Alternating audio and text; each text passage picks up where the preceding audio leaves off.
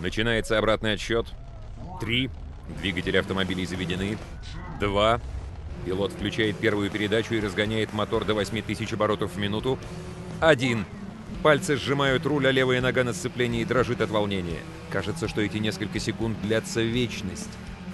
Старт! Резкий бросок педали сцепления, контрольная лампа тахометра загорается красным светом. Вторая передача. Газ в пол. Право 1200. Если слова «кулачковая коробка», «главная пара» и «кованая поршневая» для вас темный лес, значит компания Sega в очередной раз угадала с аркадными гонками. Sega Rally Revo не придется часами заниматься глубокими и точными настройками двигателей и подвески под каждую отдельную трассу. Всего несколько нажатий на Enter, и мы уже на линии старта. Все настолько просто, насколько вообще возможно в аркадном жанре. Главная фишка игры — это азарт.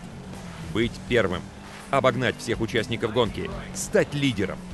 Здесь забываешь о том, как надо проходить повороты, на какой скорости, как работать тормозом. Вообще тормоз все горали явно лишняя деталь, для красоты. Отпускать газ приходится крайне редко.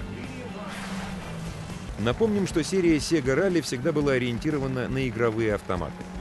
Основной задачей разработчиков являлось только одно — заставить человека максимально возможное количество раз увидеть мигающую надпись «Insert Coin». С тех пор игровой процесс изменился не сильно. Главное отличие заключается в том, что Sega Rally Revo в своей PC-ипостаси попросит монету всего один раз, да и то на кассе магазина видеоигр. Остальное время уйдет только на получение удовольствия от гонки. Игра, кстати, довольно требовательна к железу, и не имея мощного аппарата, особо красивой картинки увидеть не получится. Успокаивают только серьезные возможности настройки графики и звука, что позволяет запустить игру без явных тормозов даже на откровенно слабой машине. Говорить о реалистичной физике в игре было бы глупо, хотя некоторые элементы здесь выполнены с явной претензией. Например, интерактивное дорожное покрытие. Грунт не только красиво приобретает формы колеи, но и влияет на поведение автомобиля на дороге. Причем с каждым кругом драйверу становится все сложнее и приходится заниматься активной рулежкой, чтобы не потерять секунды в заведомо засадном месте. Трассы, проложенные в Арктике, интересны по-своему. На снегу тоже появляется колея, но при прохождении этого места несколько раз можно с легкостью докопаться до льда, на котором техника вождения уже совсем иная. Гараж состоит из вполне обычного набора машин для ралли, правда делятся они на три группы. Это автомобили, которые принимают участие в современных гонках. Subaru Impreza, Citroёn Xara, Peugeot 206, Ford Focus.